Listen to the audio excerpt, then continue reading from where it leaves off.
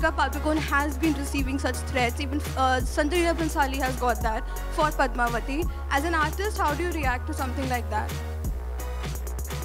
Uh, I think it's very, very unfortunate.